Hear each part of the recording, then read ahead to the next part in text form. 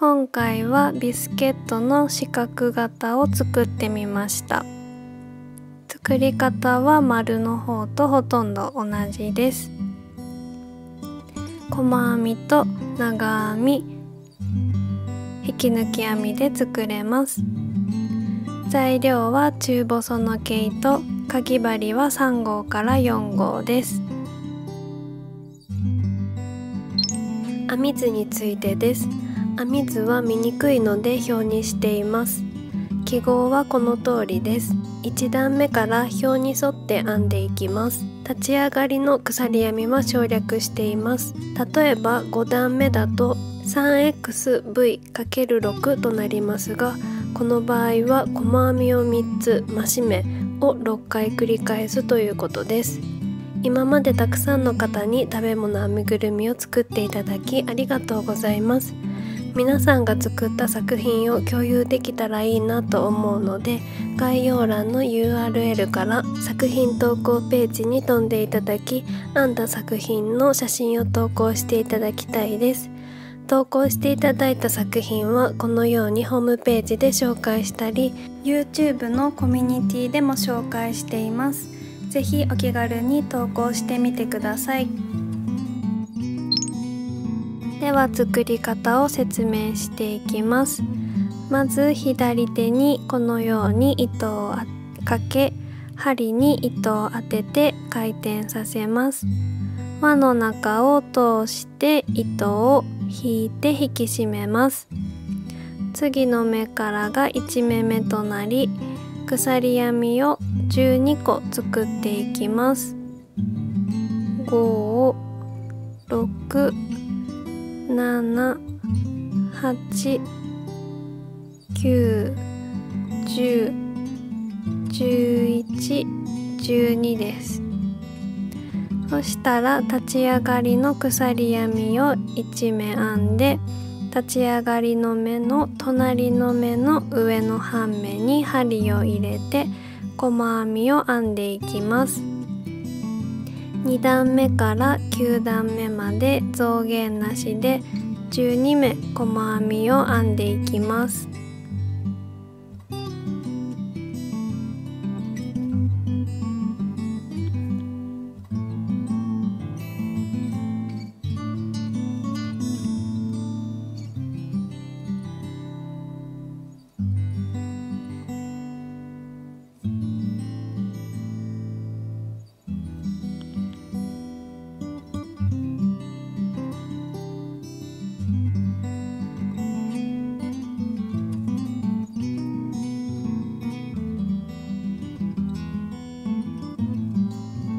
12目編み終えれました。次は3段目です。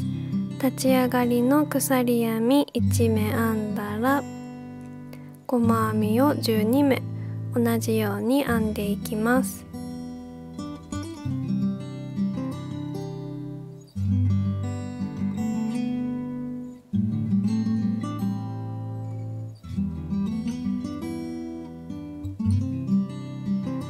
9段目まで編み終えたところです10段目は立ち上がりの鎖編みをして細編みを1つ編んだらかぎ針に糸を引っ掛けて2ループずつ糸を引き抜く長編みの増し目なので同じ目にもう一つ長編みを入れていきます。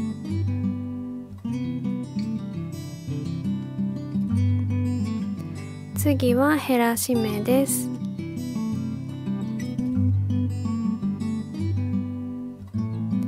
もう一度細編み長編みの増し目。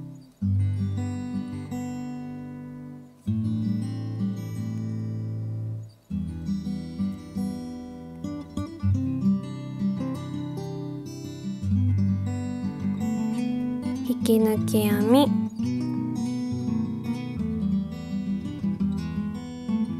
この順番でぐるっと1周縫い合わせていきます。ぐるっと1周えっとこの並々を編んでいきます。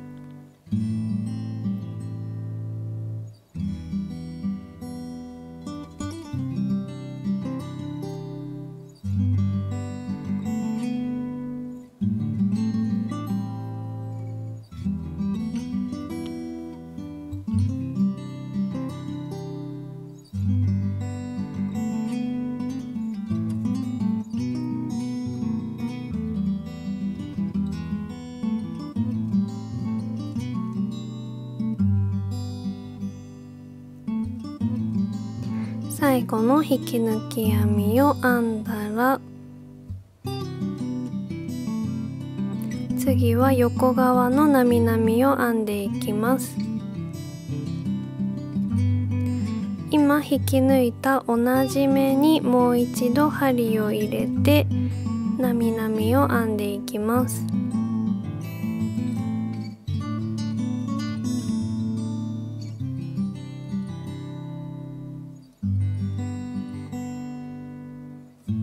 細編み。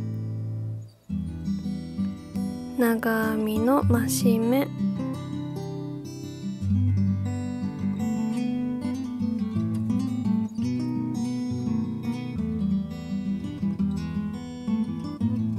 引き抜き編み。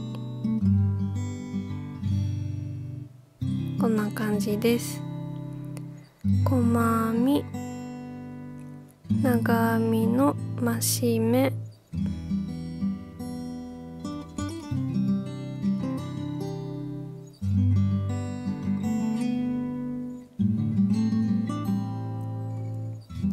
引き抜き編み。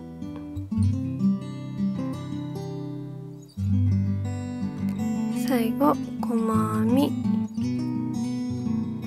長編みの増し目。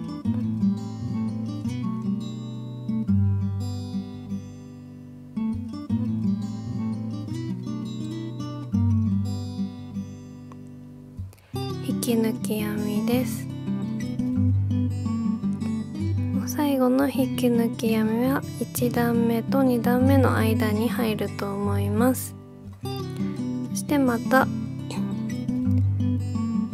下この部分を編この辺を編んでいきます。同じ目にもう一度針を入れて細編み隣に長編みの増し目減らし目の順番で編んでいきます。この角の部分がちょっとやりづらいと思うんですが減らし目を編んだ目にえっと同じところにもう一度針を入れて細編みを編むと数が合うと思います。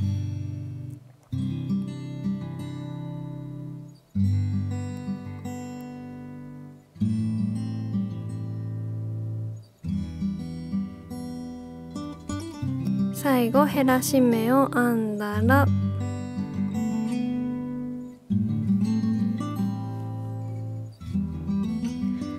縫い合わせるために糸を長めに切って輪を引き抜きます。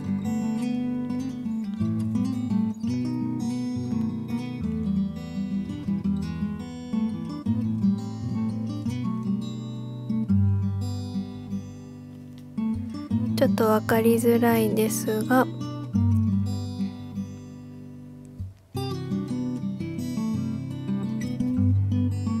この端の部分が端というか角の部分が大きいこの波ポコッとした部分になってしまうんですけど、まあ可愛いのでこれでいいかなと思います。本当は2つ分のポコッとした部分があるはずなんですけどちょっと同一化されちゃってますね。で分かりにくいんですがえーと、1目目の頭に針手前から針を入れて奥のあと最後の目の奥の半目に針を入れて糸を通します。一つはこのままでよくってもう一つは近くの編み地裏の編み地に34目ほど糸を通して中に入れておきます。編み地を合わせて最後の段の頭を拾いながら縫い合わせていきます。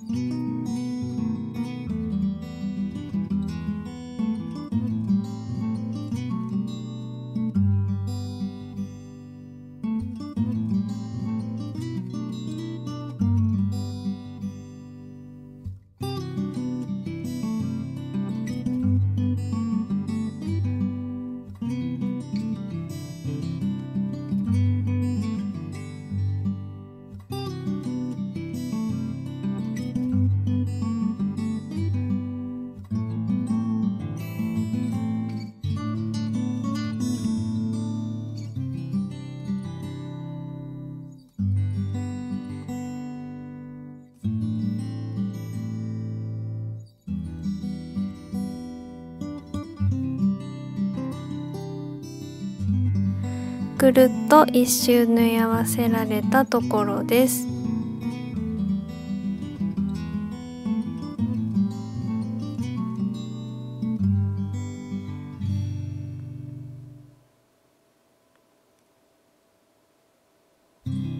玉結びをします。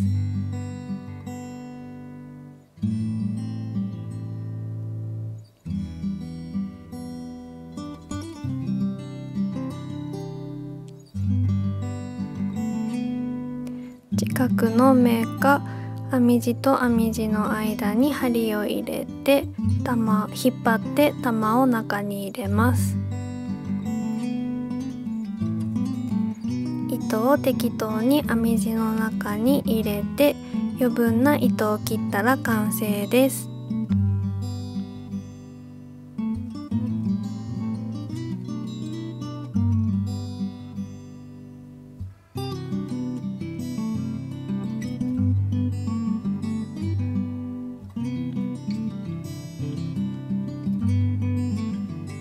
こんな感じでえっと外側がなみなみした四角いビスケットができました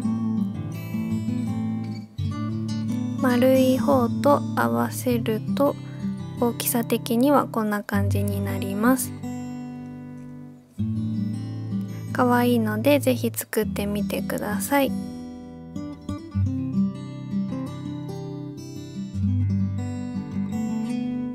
ご視聴ありがとうございました。チャンネル登録よろしくお願いします。